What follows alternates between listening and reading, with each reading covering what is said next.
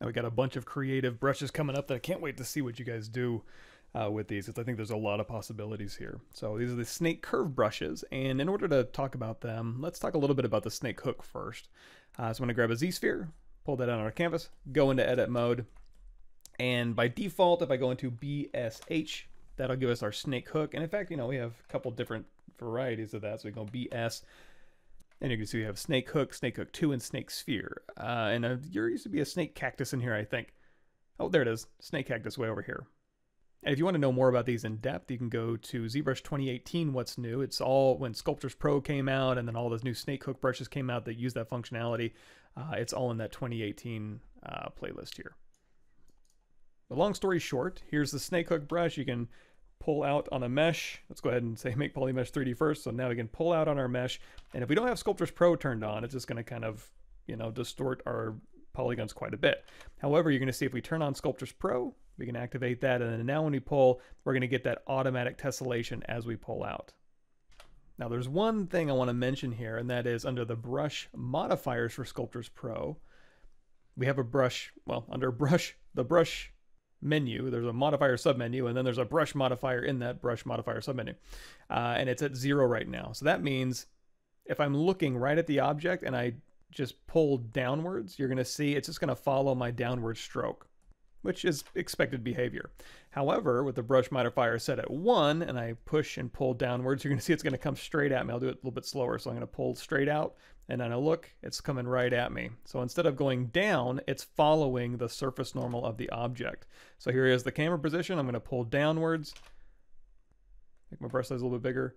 So here I'm going to keep pulling downwards and I go to the side, it's coming right at the camera. However, brush modifier of zero, pull downwards, and it follows my brush. So one follows the surface normal a lot, and then zero follows whatever the hell my brush is doing and the direction I'm telling it to go in. So now, like mini brushes, or, or actually any brush, for example, you can switch over here to the standard brush. That's BSI, sorry, BSJ. Um, you can go in here, you can go into the stroke palette here and drag it over to the left. You can go down here to curve, turn on curve mode, drag it out on your mesh here, and then you can just start pulling and it'll start standard brush pulling uh, with Sculptris Pro mode turned on, it'll start pulling that standard brush through my mesh and creating deformations. In fact, you can even add an alpha to this. Let's go ahead and add alpha 33. And under the stroke settings, let's open up modifiers here. And if I turn on this roll button, that's going to spread that entire alpha along the entire curve here. So you can see this arrow is going all the way down the curve, and now I'm able to pull my standard brush through it using that arrow alpha. So back to our snake hook, BSH, we can turn curve mode on for that, and now we're using a snake hook to manipulate this mesh. So that's a little background of snake hook and curves. So let's look at these new brushes. So we're going to go into B to bring up my brush menu, S to narrow down to all the brushes that start with S, and you're going to see we have a new one, two, three, or one, two, four, and 5. So if I go in here to BS1, it's going to give me the snake curve brush, and it might pop up a warning saying, hey, Sculptris Pro mode should be on. Let's try that again. BS2, there we go. It's going to say, this brush performs best when you use the Sculptris Pro. Great. We'll skip this note until next start, and we'll go up here and we'll just turn that on. We'll do BS4 and BS5. Now, the reason I did all those is because down here in the brush now, these are my recently used brushes, so I can just very quickly go through one, two, four, and five right through here. So we'll start with brush number one. And I'm to make my brush size a little bit smaller. I'll hold down S and then just move my cursor to the left a little bit.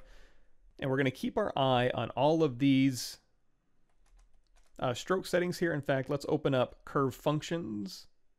I'm sorry, not curve functions, curve modifiers, because we're to be paying a lot of attention to stuff going on in this menu.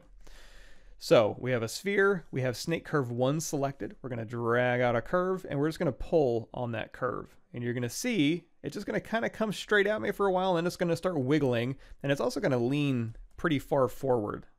And that's all being controlled by these settings. So one more time, I'm going to pull on here and you see it's going to kind of sweep forward and then it starts wrinkling up a little bit. So what's causing all of that? So first of all, underneath stroke, you're going to see we have intensity turned on. And if we click on this curve fall off, just like when we were using this on the on the new brush extrude profile curves and the new brush curve alphas, we can use this to determine what direction this snake hook wants to go. So for example, if I go ahead and tap on my object to get rid of that curve, I'm going to draw this out again, but pay attention to where my start and where my end is on that curve. So I started here and I ended here. And what that means is the intensity is very high when I started and very low on the end. So start, it's going to be very intense. End is going to be very low intensity according to this curve because here's the start on this side and on the right side is the end. So now when I pull on this, you're going to see it's going to be very intense on that start dot and very low intensity on the other uh, dot. Now if I tap off to get rid of that curve, and then I go up here and I drag the opposite direction, so start and end, it's going to be very high intensity start on this side, and then it's going to end on that side to be very low intensity. So that's how you control that direction. Now if I undo both of those, and I turn intensity off, and then I drag this out, you're going to see it's just going to pull in a straight line. There is no intensity to pull it one direction or the other, but you can use that to your advantage. In fact, if we go from snake cook, or sorry, snake curve one, and we choose snake curve two, you're going to see the intensity's turned on and it gives us this shape. So now when we pull out, it's going to be very weighted towards the middle. So as we pull out, it's going to want to really push this in a rounded form. So again, if you want it to be flat, just turn intensity off. You get a nice flat result. If you want it to be controlled by the curve, make sure intensity is turned on and change the curve to whatever you'd like. Again, we can go back to Snake Hook 1. We've got the curve here, so we can modify this, just pull it straight out. We can go ahead and flip horizontally. Oops, sorry, turn intensity back on.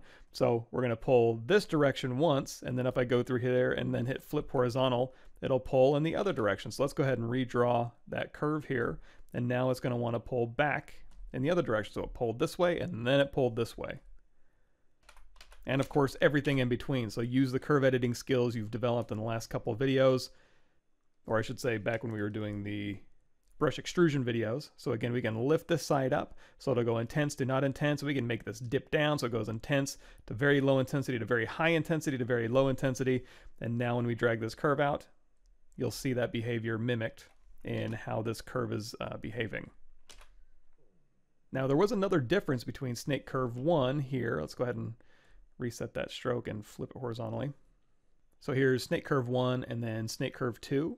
Look down here where it says projection, position projection and direction projection. On snake curve 1, direction projection set to 0.45 and on snake curve 2 it's set to 0. So the higher you go with this direction projection, the more it's going to take your surface normal into account. So this one, it's fairly low. It's at like 0.45. This thing can go all the way up to 2. So 0.5 is like half of 1, obviously. So I can go through here. It's like a quarter of the way, let's say. So I'm going to pull this through. And then as I start getting towards the end, it starts wiggling. It starts kind of wiggling around and creating like this little seaweed effect, which is totally cool. You know, that leads to a lot of happy accidents. And you can see from when I was doing my demo here, when I was making the fish, you know, that came in handy when I was pulling out very, you know, wavy fins and stuff. Some, that can be very hard to recreate, even with like cloth brushes. Now, if you don't like that waviness, what you can do is you can go set that direction and position down to zero. And then when you pull out, it'd be a lot more predictable. It basically just goes in one direction and it doesn't start really start wavering. I mean, you can kind of get it to waver if you start like going crazy with your with your mouse you know, as you're kind of pulling, um, but it's much more difficult to do. If you pull this up to direction projection of two, you're going to see it's kind of going to go haywire. It's going to grab all the little uh, surface normals of that mesh and just starts flowing them all the way through. Now, speaking of when we were talking about the camera direction, you're going to see for all of these brushes, the brush modifier is set at 0.5. That means I'm controlling half of the direction of where that curve is going, and the surface normal is controlling half. So, and that's true for every single one of these you're going to see it set at 0.5. Now, an interesting one, the strength multiplier is set at 0.4 for Snake Curve 5. We'll get back to that uh, in a bit. But I just wanted you guys to know that the brush modifier is set to 0.5 for all of these. Now, one brush that has that built in, that direction projection, is the uh, Snake Curve 4. So you click on that one, you're going to see it set to 1. And now when we pull this out, again, it's just going to kind of treat it as that kind of seaweed kind of look here. Very neat, very cool. Now, you can also, let's go ahead and turn on X symmetry here. remember, you can pull this out away from the object and get some very cool effects, but you can also pull it in to the object and you can keep manipulating this curve and you'll kind of pull this thing around and you'll get some really, really neat happy accidents. And always feel free to redraw the curve too. You can go through here and kind of redraw this curve here and kind of start pulling through and then tap off and then maybe go back here and start drawing and then tap off and maybe go back through here and start pulling some curves in and you'll get some really, really cool uh, ideas going for maybe some creature work you might want to do. So now let's go ahead and undo those. We've talked about how this curve can control uh, the look of your mesh. So you got that intensity there and that's going to control this. And then of course you can mess around with this curve and get some really neat effects too. You can get kind of that split, that intensity there. You can also turn that intensity completely off. And in fact, we'll go ahead and reset it so we're not distracted by that. We can also go in here to an alpha and let's choose this alpha 09 and we can pull that through our mesh and you're going to see that's also going to affect our curve and or you can use both of them. You can turn on intensity and alpha and of course it'll pull more in one direction. If you need it to stick to your curve a little bit more, that's where this strength multiplier can come into play. It'll kind of push your mesh out a little bit faster and you'll get a little more performance out of uh, a little bit more difficult meshes. Speaking of, you know, alphas and strength multipliers, let's go ahead and switch this to alpha 32. And now you're going to see we're getting a very cool effect with this one. And all we've done is add a little bit of alpha noise to control the overall effect. And we've used intensity to kind of make it pull a little harder on the end dot instead of the start dot here. Again, you can also turn that off and it'll be a little bit more uniform throughout. And then we also have direction projection set at 2, so it's just going crazy. It's doing that seaweed thing, right? Of course, you can change that. You can drop that down to 0, and now it's going to be a lot, a lot more uniform. It'll still kind of pick up those surface normals eventually, but again, it's going to give you um, a little more of a uniform take as opposed to, you know, set to 2. You can see the difference there. It immediately starts going haywire. Both cool effects, though. Now, you can also mess with the position projection. I want to say, let's see here, uh, you know what, just in case, let's go down here to brush, reset all brushes, and we'll take a look at that setting here. So again, we'll do BS1, BS2, BS4, and BS5, just to get them in our recently used. And we're going to look at that proje position projection, and I think they're all set to 1. So if we set the, you know, let's go ahead and grab uh, snake one. If we grab the direction projection, set that to zero, position projection set to one, it pulls out fairly uniformly. If we set that to zero, it'll literally just kind of follow the curve. And if we set that to two, I think that makes it go uh, a little bit haywire as well. So we'll go ahead and leave that at one. But I did like that straight one. So if I go down here, Actually, we'll go ahead and keep snake curve 1, but we'll turn off the intensity so we get a nice straight profile pulled out. So you can use this to your advantage too. Now it is a little bit thin. You can see it kind of tapers to a pretty thin uh, shape here. So let's go ahead and uh, hold down S and make our draw size a little bigger. That's going to determine kind of the thickness that pulls out of here. And then if we go through here and redraw our curve and pull out, we can pull straight up. So I bet we can do some really cool stuff eventually with some nice mechanical uh, style creatures to kind of go through here and kind of pull some of these shapes and see what kind of cool stuff we can get away with. Um, using this method, I think we can do some really neat stuff. Now one brush that does have an alpha built in and the strength uh, modified. So we can go in here, we can see this is the curve fall off. So we already know that curve is going to kind of pull a little heavier in the middle. And we have this brush alpha in there, so it's really giving us kind of a interesting textured surface as we pull. Now, like I said before, underneath here, you're going to see strength multiplier set to 4. If we put this down to 1, you're going to see when we try to use this, it's really going to pull away pretty quickly. It kind of tapers off and it's a little difficult to use. That's where you can use a strength multiplier to your advantage. You can force that mesh out a little harder, and now you'll get a lot more life out of this uh, out of this curve. So if you need it, you can go down to that strength multiplier and just bump it up a notch.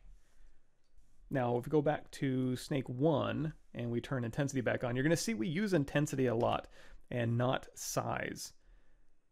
That's because intensity is really going to be nice for directing the flow of what this curve does. However, if we turn on size, it's going to change the brush uh, the brush size. So essentially what that's going to do is kind of taper off the effect altogether. Instead of making it less intense to more intense, it's going brush size big to brush size small, and that's the result you're going to get. And in fact, if your brush size is a little too small, you'll see it falls off pretty rapidly. Now, if that's a cool effect and you that's useful to you, just remember it's there. But for the most part, intensity is the one that's going to give you the most consistent uh, curvature read. Now, remember, you can also, you know, start pulling out in one direction. You can go through here. You can redraw your curve. It's Sculptris Pro, and you can even go in here and like again flip horizontal, and you can start pulling it in that same direction. Flip horizontal and pull in an opposite direction here. There we go. So you can get, uh, again, very, very cool effects.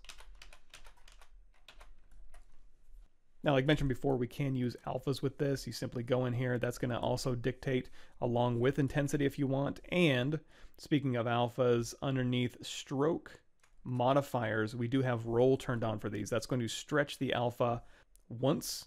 So one long arrow is going to be projected through here.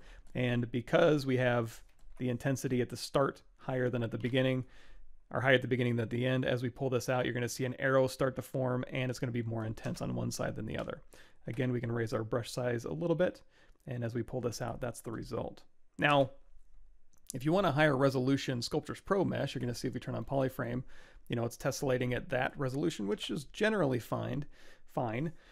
However, if we go over here to brush, you're going to see we have a Sculptris Pro setting here. So its subdivide size is set at 2 by default. Let's set it down to 1. And now when you see us pull this out, it's going to be a much denser mesh. So the lower this number is, we set it down to 0.5. Be a little careful with this. You don't want to make it too expensive. You're going to see we get a much higher resolution mesh. Uh, but you also have to go a lot slower in order to get that curve to kind of stick and get that mesh to kind of follow it out. But you're going to see we are getting a much, much higher resolution mesh there. But I'll go ahead and set this back to 2.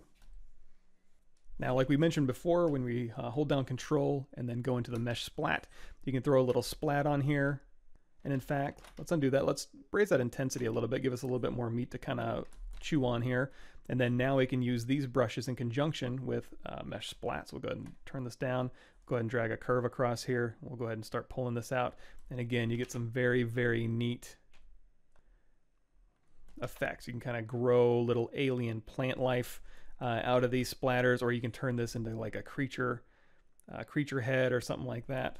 And again, if you want more of that wiggle on there, the more of that seaweed jiggle, you can go in here to your stroke, crank up that direction projection just a little bit. You can go through here and you can redraw curves however you want. You can pull right off of this one if you want to add a little flavor. We've actually got an alpha in there, but you know you can go into these you know dot alphas in here and that'll give you a little more texture and you can see very quickly you can get some really neat stuff. So go nuts with the mesh splat brush in here. Go and grab a curve.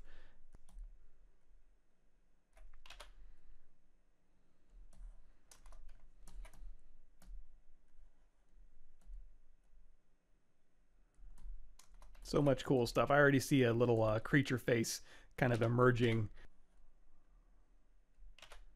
from what we're doing here. And in fact, always remember, uh, you can go ahead and Dynamesh this result. So under Geometry, Dynamesh, you want to make this all one mesh here. Just go ahead and turn this into a Dynamesh here. Maybe raise that resolution just a bit so you don't lose some of that detail. And now you're free to go through here and again, just start experimenting and kind of playing around with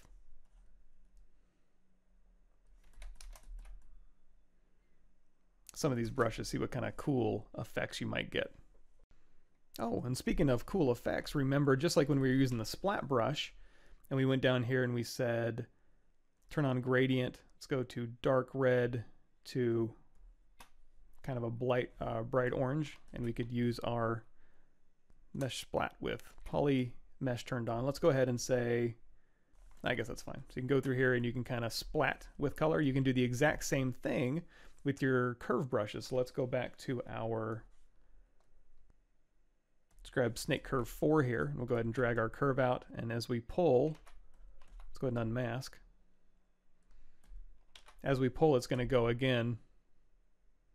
It's going to have a uh, bright orange to a red tip, but you can also change this on the fly. So let's turn off gradient. Let's start with dark red and we'll start pulling and then we'll change this to a brighter orange and keep pulling. Subtle here. So we'll start dark red and then a little bit brighter red, a little more orange as we pull real quick. So again, as we're pulling, it's updating the color here. Let's go to a little bit brighter yellow here. A little bit brighter yellow. So again, as we're updating the mesh, we're updating the color on the fly. And uh, again, just remember you can use vertex color with these as well.